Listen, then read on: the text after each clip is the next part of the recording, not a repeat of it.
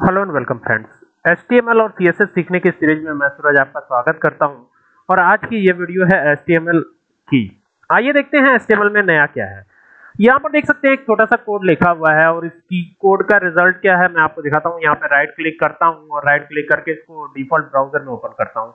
तो यहाँ पर आपको वीक लिखा हुआ दिखाई पड़ रहा होगा। लेकिन यहाँ पर अगर जाते हैं और क्लिक करते हैं तो वाओ ये कैलेंडर जैसा बनता हुआ नज़र आ रहा है आपको और इसमें आपको वीक्स वगैरह सब कुछ दिख रहा है। वीक केवल आपको लिखना है और ये सारी चीज़ें इस तरीके से आएँगी। अब ये कैसे हुआ? क्या क्या चीज़ें करी गई? अब यहाँ पर आप कैलेंडर से अपने मिला सकते हैं कि जुलाई में एक तारीख को कौन सा दिन होगा? आप, बिल्कुल मैच कर सकते हैं। और यहाँ पर वही दिन आपको मिलेगा। ये सारी चीज़ें बिल्कुल बहुत आसान है। कैसे हुआ ये और क्या क्या करना है आगे आपको दिखाता हूँ। वैसे तो विजुअल स्टूडियो कोड ओपन है, लेकिन हम यहाँ पर नई फ़ाइल लेकर के और एक नया कोडिंग करके इसको देखेंगे। सबसे पहले मैंने यहाँ पे एस किया, फिर यहाँ पे हेड किया, फिर यहाँ पर टाइटल लिखा हमने। तो टाइटल में हम बना रहे हैं कैलेंडर क्या बना रहे हैं? कैलेंडर बना रहे हैं। तो यहाँ पे लिखा मैंने कैलेंडर ठीक है?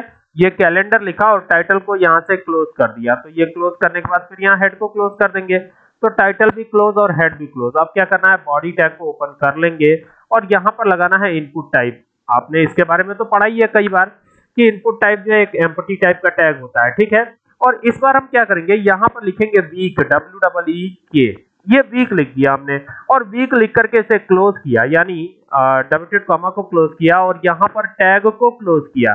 और टैग को क्लोज करने के बाद, ध्यान दीजिएगा, टैग को क्लोज करने के बाद, इनपुट टाइप कभी क्लोज नहीं होता है, हमें सीधा बॉडी को क्लोज करना है और सीधा क्या करना है, एचटीएमएल को भी क्लोज कर देना है। अब इसको सेव करने की बारी है तो यहाँ पर इसे मैं सेव करता हूँ टाइम के नाम से। तो फ़ाइल पे जाएँगे और फ़ाइल पे जाके सेव पे क्लिक करेंगे और इसे मैं टाइम के नाम से सेव करूँगा, टाइम डॉट एस लगाइए या डॉट एस लगाइए तो ये सेव हो गया।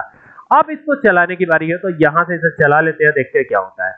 तो यहाँ पे इसे चलाया तो आप देख सकते हैं, जैसा मेरे पास आउटपुट पहले आ रहा था, बिल्कुल वैसे ही आ रहा है, और यहाँ पर क्लिक करते ही आपको ये कैलेंडर दिखाई देगा, जो एकदम बहुत अच्छे तरीके से काम करेगा। और यहाँ पर देख सकते हैं 2024 बीतने के बाद 2025 26 ये काम करता ही चला जाएगा, और यहाँ क्लियर पे क्लिक करते ही ये फिर वापस क्लियर हो जाता है।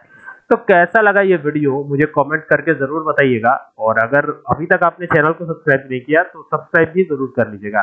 चलिए मिलते हैं नेक्स्ट वीडियो में। Thank you for watching this video